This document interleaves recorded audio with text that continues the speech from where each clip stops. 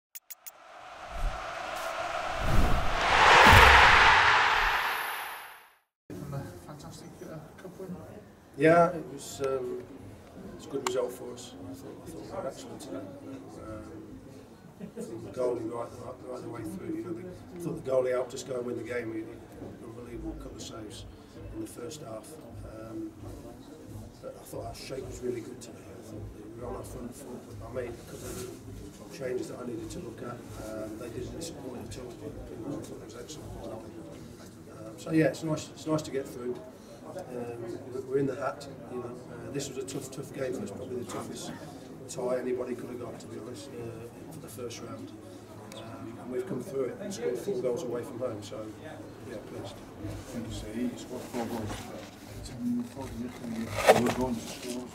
Yeah, you know, we looked dangerous. We looked dangerous. Um, I thought Dominic Rice was incredible, too. with and without the ball. I thought he was incredible today great finish from him. And, um, but there's a lot of good performances today, and, and, and yeah, we did look we did look solid. We looked um, like we could score when we went forward. Um, you know, young Ross is coming right back, but a great ball across for News to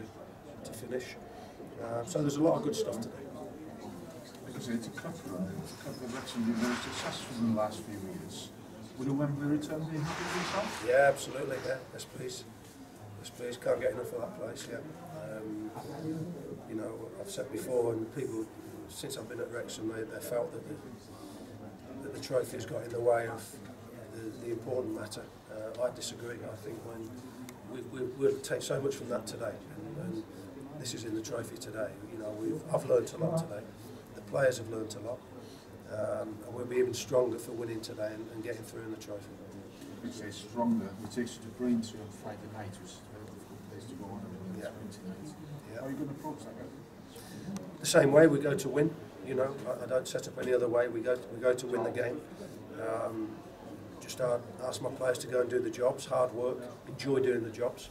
You know, we've won six out of the last seven.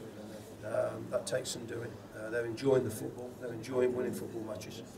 Um, but that comes through through working hard uh, and working working for each other.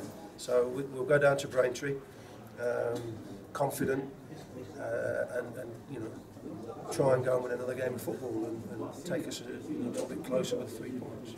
I've got to ask you as well. The atmosphere was a real cup yeah, you know, it's, um, well, look at the following today, fantastic. And, you know, they're going to travel, I'm happy, not too far to travel either. Um, but yeah, it was, it's football, you know, and um, I'm glad we didn't draw obviously with the game Friday, that was important that we got a result today. That was important for us. Um, but I think, you know, you've seen my intention with the team that I've put out today.